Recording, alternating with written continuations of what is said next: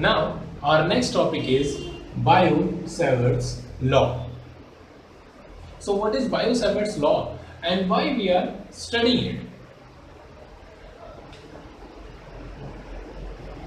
Suppose if there is a current carrying conductor, if this conductor is carrying current I, then you must have studied in class 10 there will be magnetic field lines around this conductor due to current I in the form of concentric circle.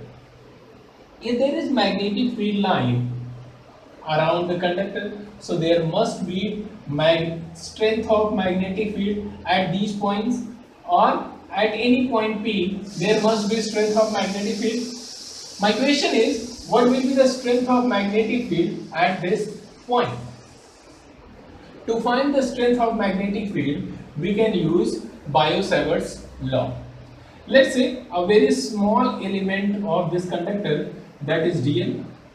The distance of point P from this uh, conductor of length dl is r. The angle between this small element dl and r is theta. We already know current I is flowing in this wire. Then according to Biot-Savart's law, according to Biot-Savart's law, the strength of magnetic field we denote it by dB.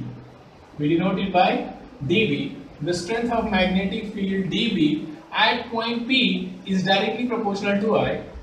Strength of magnetic field dB is directly proportional to length dl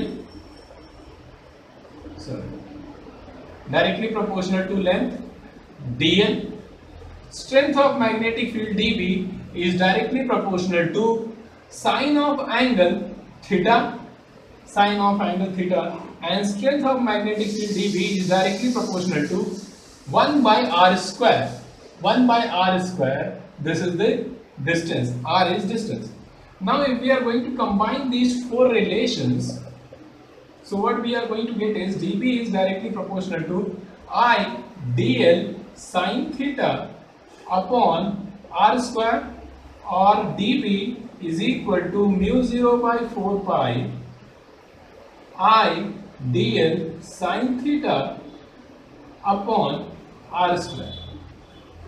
Here mu 0 by 4 pi mu 0 by 4 pi is constant and its value is 10 power minus 7 Tesla meter per ampere.